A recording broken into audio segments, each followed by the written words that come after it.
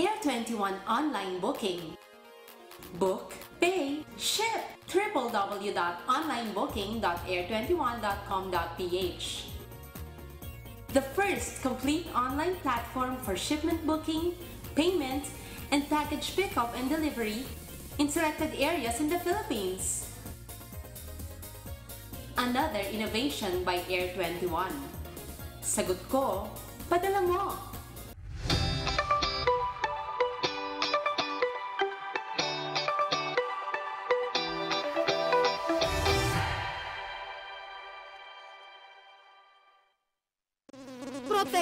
Sarili sa dengue. Alisan ng laman at linisin isang beses kada linggo ang mga drum, timba, florera, tray at basurahan. Itaob ang mga bote at lata at butasan ng mga gulong upang hindi makaipon ng tubig. Linisin ang alulod ng bubong ng bahay. Kung nag-iipon ng tubig, takpan ang mga imbakan nito. Linisin ang mga ito isang beses kada linggo. Kung may lagnat o nakararamdam ng alinman sa mga sintomas ng dengue, kumonsulta agad sa pinakamalapit na health facility. Tandaan, ang dengue maiiwasan kung magiging masinop sa kalinisan.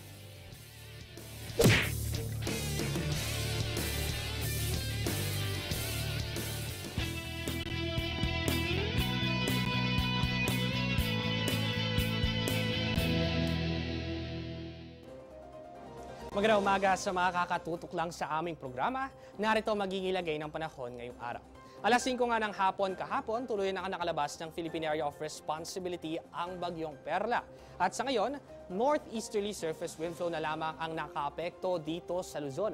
Asahan natin na maulap na kalangitan na may kalat-kalat na pagulan, pagkidlat at pagkulog. Dito yan sa Camarines Provinces, kabilang na rin ang Quezon at sa Catanduanes. Samantala, para naman sa dito sa hilagang bahagi ng Luzon, asahan natin ang pangkalahatang maaliwalas sa panahon pero posible pa rin ang mahihinang pagulan sa susunod na mga oras. Partikular yan dito sa Batanes, Ilocos Norte, Apayao, kabilang na rin na makararanas ang Cagayan. Para naman sa Metro Manila at natitirang bahagi ng bansa, pangkalahatang maaliwalas sa panahon ng iral, maliban na lang yan sa mga pulupulong pag-ulan dulot ng localized thunderstorms. Para naman sa lagay ng ating karagatan, wala na tayong nakataas na gale warning sa anumang baybaying dagat ng bansa, kaya malaya na makalayag ang mga mahingisda at may maliliit na sasakyang pandagat. Magpapatuloy pa rin ba ang magandang lagay ng panahon sa ilang bahagi ng bansa ngayong araw? Alamin yan mula sa 3-day weather forecast mula sa pag-asa. Sa Baguio City, City of Pines, sasama pa rin natin ang fair weather condition na magpapatuloy hanggang sa Webes. Ang temperatura may kababaan pa rin, maglaro yan sa pagitan ng 15 to 24 degrees Celsius. Para naman sa mga masisipag na estudyante dito sa Metro Manila, asahang maaliwalas sa panahon bukas hanggang sa Webes. Pero bago umalis ng bahay, importanteng magbitbit pa rin ang payong dahil posible pa rin ang mga pulupulong pagulan dulot ng localized thunderstorms pagdating ng hapon at gabi. Ang temperatura, aabot yan ng 33 degrees Celsius. Para naman sa mga mamamasyal dito sa Metro Cebu, dahil walang anumang sama ng panahon ang nakaaapekto dito, saan pa rin natin ang maaliwalas na panahon bukas hanggang sa Webes. Bagyan sikat ang araw, umaga at tanghali, pagdating ng hapon at gabi, nariyan at posible na ang mga pag-ulan. Ang temperatura, posibleng umabot naman ng 33 degrees Celsius. Ngayon, capital of the Philippines, Metro Davao, pangkalahatang maaliwalas sa panahon pa rin na mararanasan sa susunod na tatlong araw. Kakibat naman yan ang temperaturang mula 25 to 33 degrees Celsius. Mainit at malinsangan pa rin ang temperaturang aabot sa Zamboanga ng 33 degrees Celsius. Kaya naman kung balak mong magtampisaw, perfect weather condition ang iiral sa susunod na tatlong araw. Para kumpletuhin naman ang inyong umaga, narito ang nagagandahang larawan na ipinadala nyo sa aming Photos of the Day.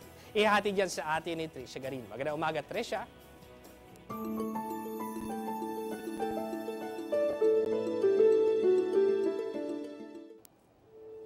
Magandang umaga Patrick at happy viewing sa lahat. Maliliit at makukulit man kung ituring, ang mga bata, tunay na biyaya at saya ang hatid sa pamilya. Ang mga chikiting na ito ang bumida sa mga larawan ngayong umaga. Kasabay ng cool na panahon sa Benguet ay ang cool na cool na purumahan ng batang ito habang seryosong kumakain ng paborito nitong candy. Yan ang larawang kinunan ni Ani Paras. Mainit man ang panahon pero salamat sa cooling fan na ito kung saan nagkumpulan ang tatlong chikiting at in-enjoy ang malamig nitong hangin. Yan naman ang nakaaliw na larawang ipinadala ni Len Castro mula sa Bulacan.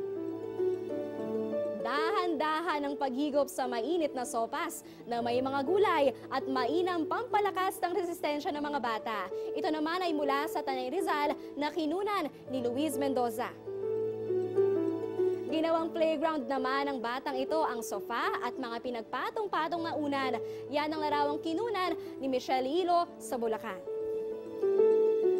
Game na game naman ang batang ito sa pag-akyat at sa bundok ng Benguet. Mula sa matamis nitong ngiti, kita naman na in-enjoy ang ganda ng paligid. Salamat sa ating photo sender na si Nicasio Dalag.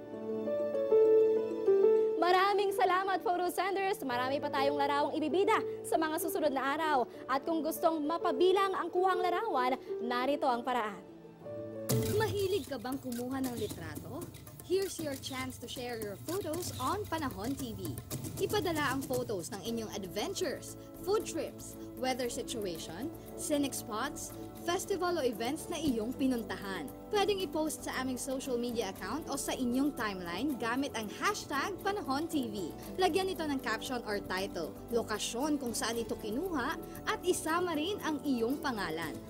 Ano pang hinihintay nyo? Send your photos now and get a chance to be featured in our program. That's all for our photos of the day. Sa susunod muli, para sa Panahon TV, ako si Trisha Garin. Balik sa'yo, Patrick!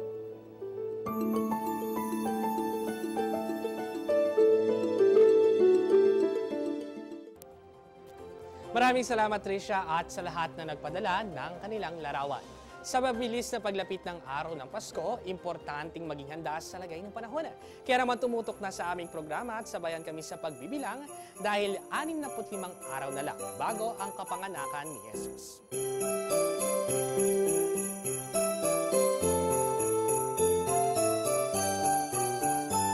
At dyan nagtatapos ang aming programa manating nakatutok sa aming social media accounts para sa updates ukol sa lagay ng panahon.